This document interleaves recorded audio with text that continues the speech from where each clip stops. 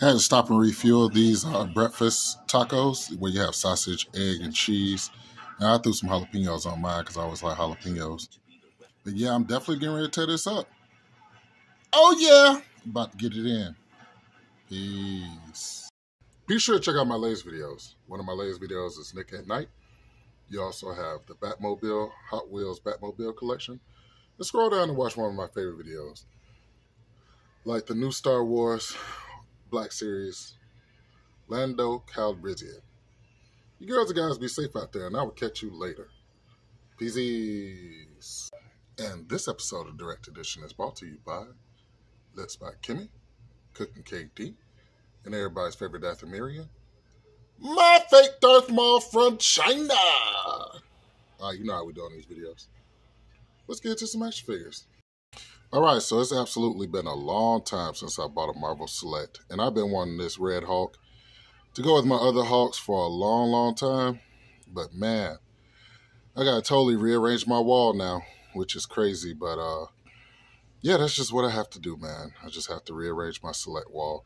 But yeah, this is very awesome. Everybody know this is uh, the Hulk's arch enemy, his uh, the beloved of his life's father uh, General Ross is the Red Hulk, and I remember when uh, they finally came out with that story, everybody was like so amazed that it was actually General uh, Ross that was the Red Hulk.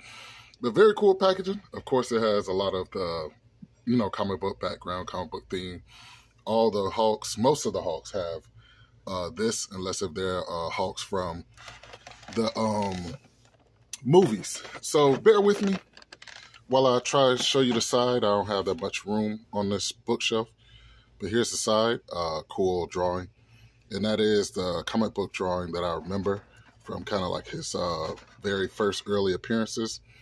This is really cool. Red Hulk has red nails. You know, if you want to read the, you know, origin or the synopsis, you can pause the video and do it right now. But yeah, man, it's been a while. It's probably been excuse the noise. I think uh, last one was was it Beta Ray Bill that I got. I just had to get Beta Ray Bill. Like as soon as he dropped, he was just such a cool, cool character. Always me. I'm loving the grin.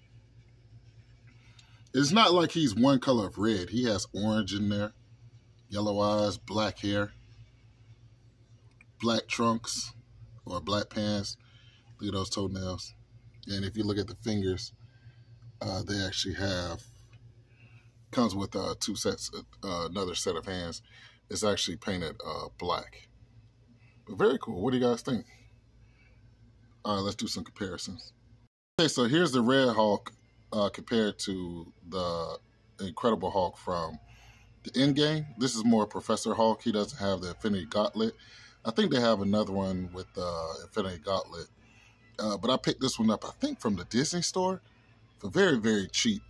But yeah, Red Hulk I had to wait until he came down to 30 to pick him up. And I mean, you can see the bulky size over uh, this uh, movie Hulk. But the ones that I have on the wall, like Abomination, you know, uh, uh, Planet Hulk Hulk, they're absolutely just as heavy as this guy.